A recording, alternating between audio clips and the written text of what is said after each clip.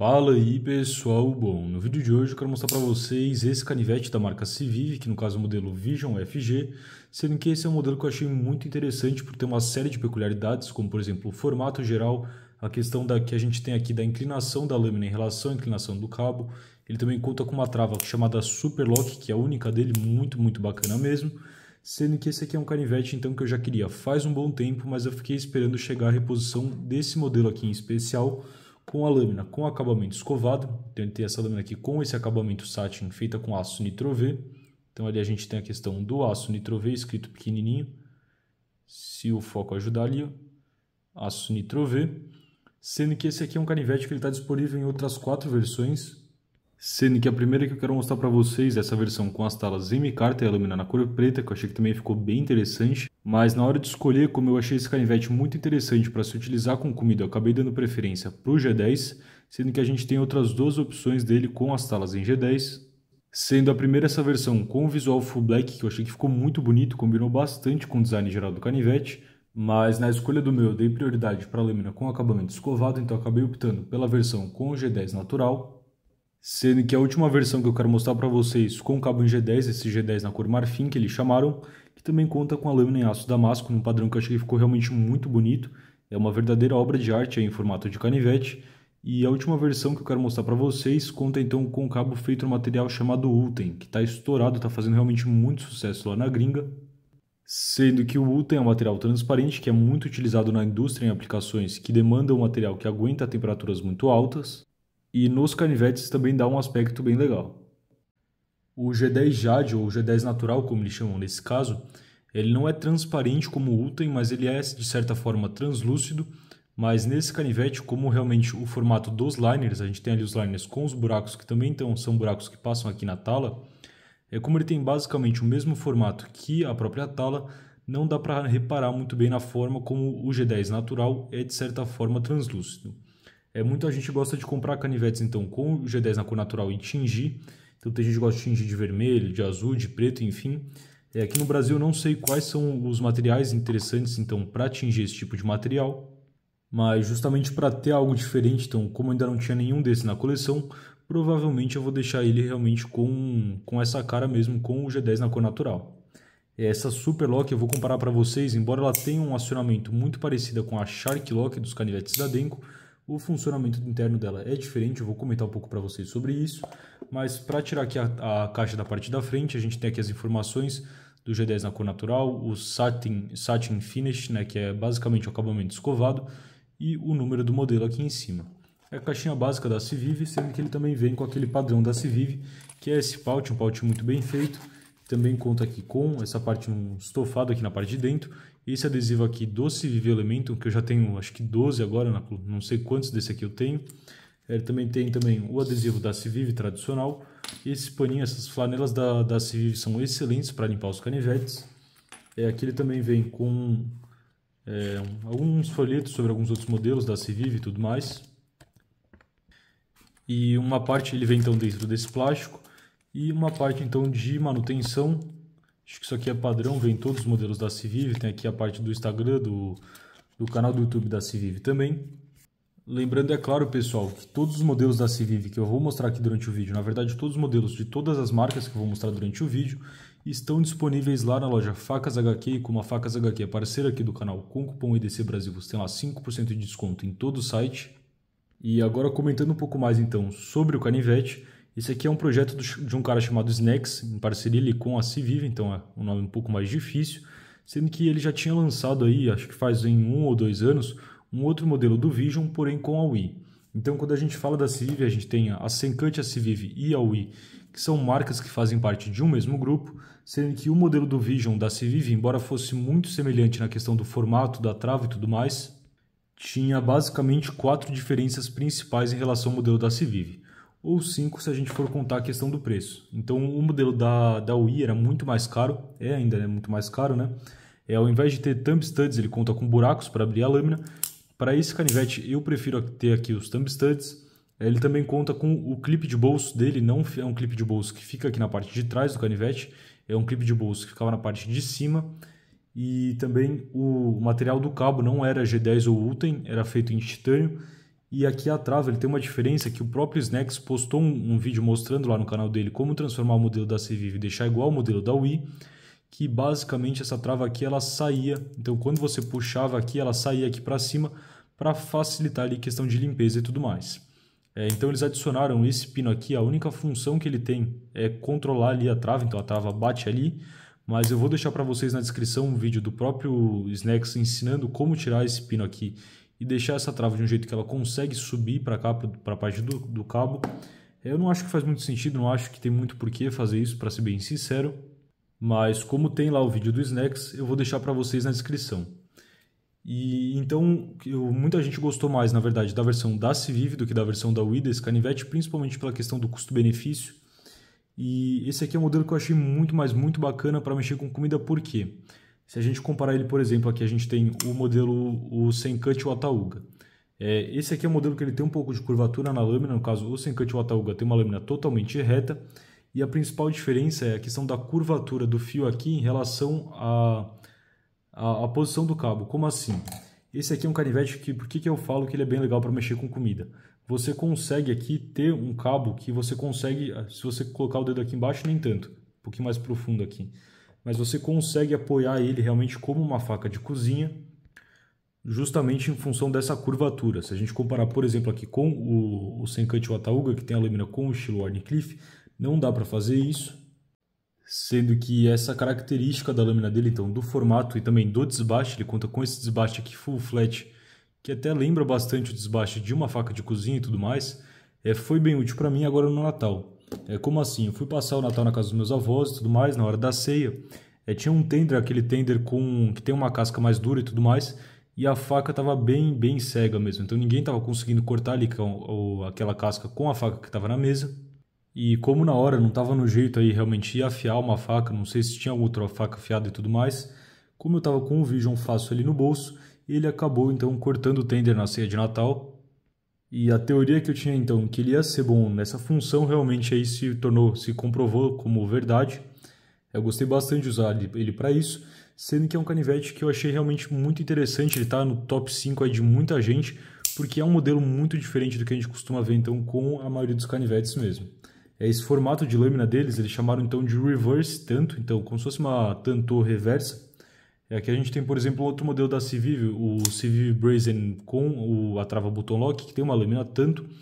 E como ele tem essa caída aqui, que no caso o Brazen tem aqui na parte de baixo, eles chamaram de reverse, né? Então reverse tanto, sendo que esse aqui é um canivete que tem 3 milímetros de dorso ali, mas como ele tem uma caída boa, tem uma, esse flat dele ele vai caindo realmente tem uma boa área para cair ali, ele tem uma boa habilidade de corte, achei bem interessante isso, sendo que o comprimento total dele aí é de aproximadamente aí 202 milímetros, tendo então de comprimento da lâmina mesmo, é, se a gente pegar para olhar assim, considerando a lâmina aqui como o fim do cabo até a ponta, ele tem 8.9 centímetros, e se a gente pegar a área de fio útil mesmo, ele vai ter aí aproximadamente então 7 centímetros de fio útil.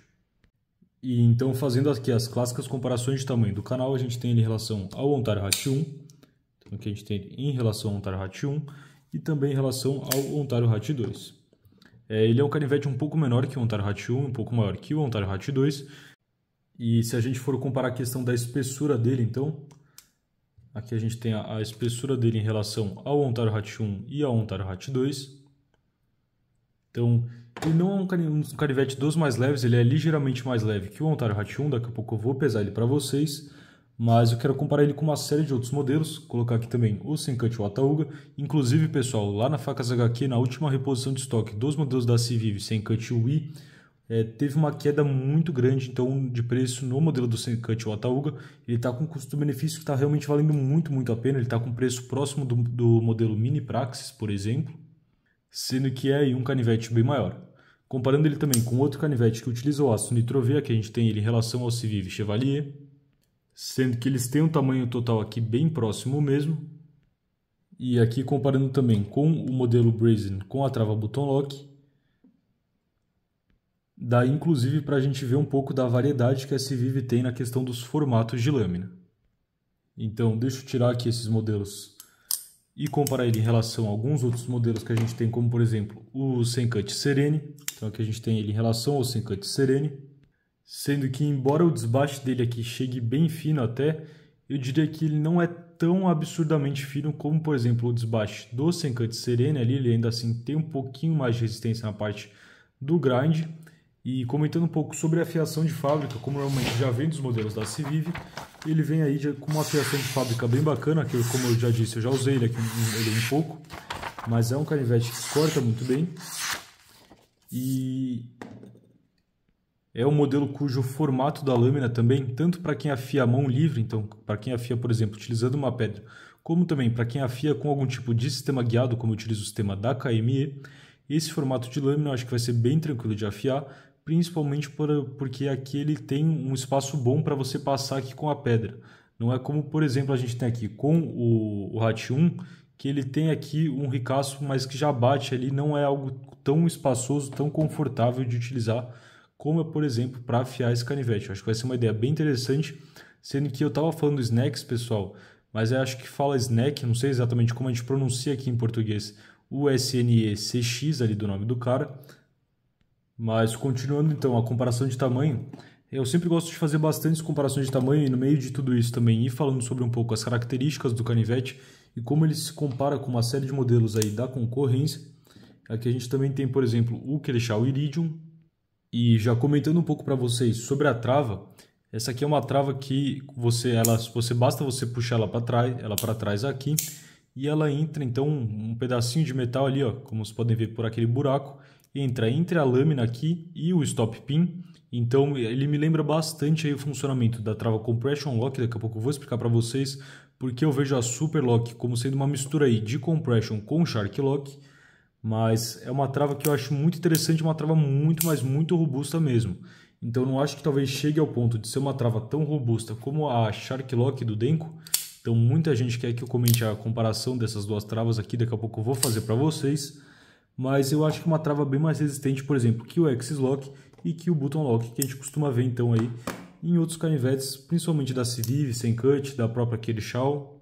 Mas antes de comentar sobre a trava, as últimas duas comparações que eu quero fazer para vocês são com o CJRB Pirate aqui na parte de cima e com o Civive Elementum com a lâmina do estilo Warnicliffe aqui na parte de baixo.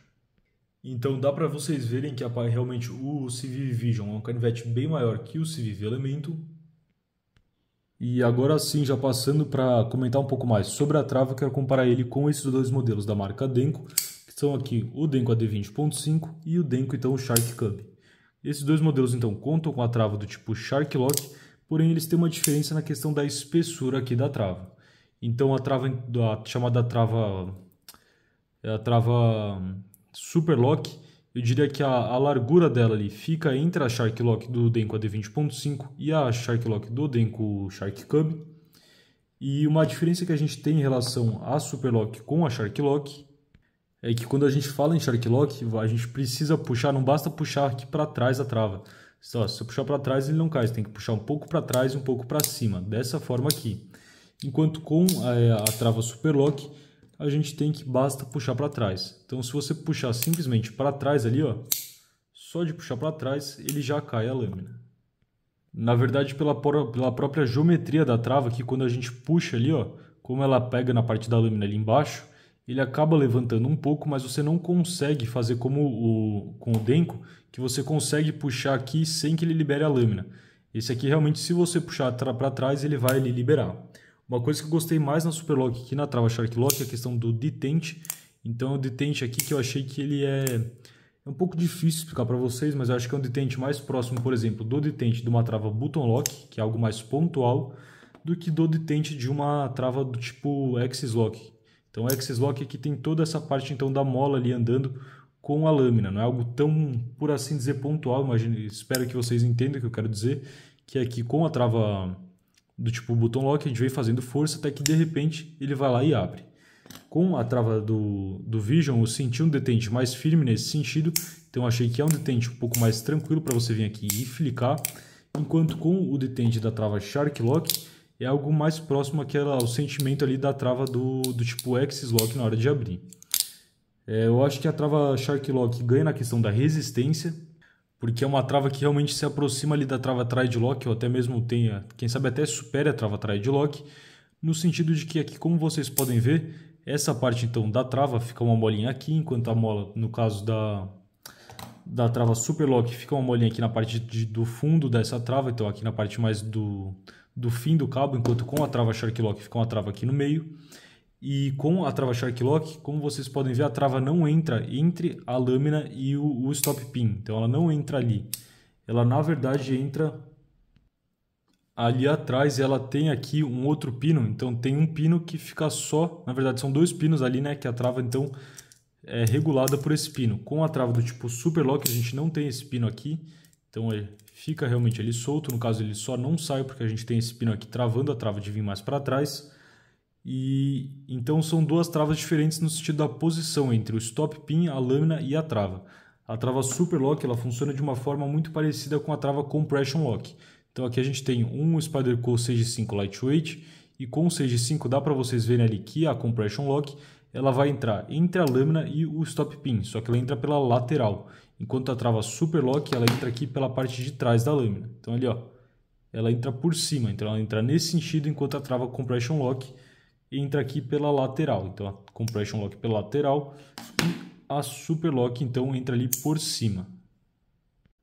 É, eu achei que a trava a super lock era mais fina que a trava a shark lock, mas na verdade elas são bem próximas. As duas estão com um pouquinho de sujeira ali porque não para de flicar esses canivetes, são canivetes bem viciantes mesmo de ficar flicando. Mas se a gente olhar aqui eles por dentro, então por exemplo aqui o Denko, vocês podem ver que ali a gente não consegue ver esses dois pinos. Então aqui a gente tem esses dois pinos que não dá para ver, justamente porque a parte da trava então circula esses dois pinos. Enquanto com a trava Superlock, se a gente abrir aqui e ver por dentro, dá para ver aquele pino interno ali. É, aqui, aquela parte ali onde a gente tem aquele ressalto, é uma molinha bem pequena que fica aqui, então uma molinha que fica ali dentro. E com o modelo Vision, até dá para vir aqui e flicar ele com o dedo do meio, então vem aqui e flicar ele dessa forma, mas eu acho que em função de ter o buraco da lâmina, é bem mais confortável de vir fazer isso aqui com o modelo Denko AD20.5.